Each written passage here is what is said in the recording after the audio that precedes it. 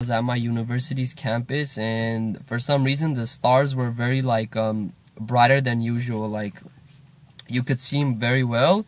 And then all of a sudden the stars I was looking up um they changed into UFOs or, or what looked like UFOs because they weren't real UFOs they were just like they were like extraterrestrial objects or something. It was or on a it was like government made government government made um aircraft that looked like UFOs basically and as I was looking at them as they changed into as the stars changed into these UFOs, they were like lining up, um, going like flying around, and a big. It was at the center of my university campus, basically by a library, and um, a big crowd actually gathered, and people were looking at them. And then I'm like, and I was telling people, I'm like, these are not UFOs. These are just governments. This is the this is the government decepting you. This only means the rapture is around the corner. If the government's already started decepting us, they're showing us UFOs. This only means the rapture is around the corner.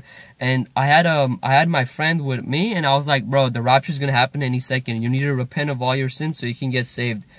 I told him he wasn't really listening. He was just looking at the UFOs. And then there was these two other guys. Both of them were like they, they were both like heavily tattooed like heavy metal guys i'm like hey guys the government's decepting us with these ufos you need to immediately repent the rapture is going to happen any second and they didn't really listen to me they were just staring at the ufos or like yeah basically and I was telling him this UFO is a, is gonna be a cover up. You can see him now. They're gonna use this to cover up right after the rapture. Really, no one listened to me. And then all of a sudden, um, if you guys seen the movie This Is the End, it's like an apocalyptic movie of how like a light um a light comes and saves some people during certain points of the movie. So basically, um there was a big crowd and a and this bright blue light came came down right on me and basically um took me to heaven basically. And there was a big crowd and this was the rapture. I'm like, guys, the rapture's happening right now. I'm being taken up, man. They're like, no, no, that's not the rapture. That's the UFOs taking you. They're abducting you. I'm like, what? This is the rapture. I'm going to heaven right now. And there's a big crowd of like 200 people, and I only saw three other lights. Lights. So in the big crowd of 200 people, there's only two or three other people were were getting raptured.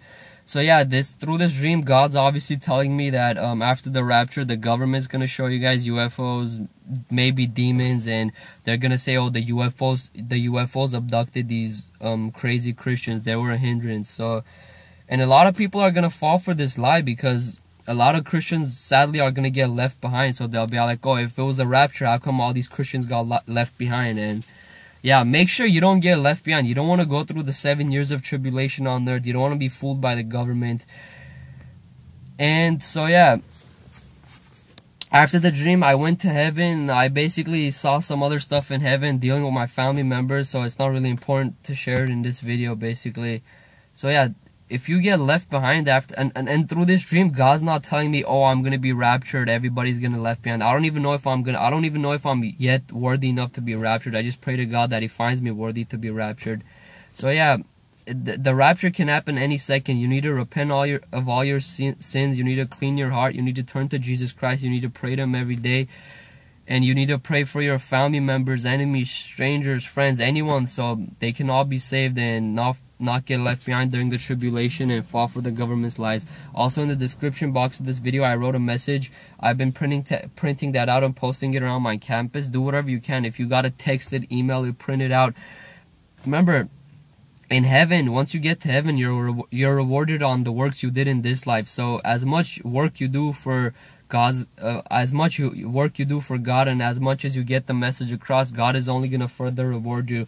So mm, don't be a don't be a lazy servant of God. Do whatever you can to spread the message. I already glory to God, man. I already wrote the message. All you gotta do is share it. That's I already did the hard part basically. And also all glory to God because all glory belongs to him. Thanks for listening.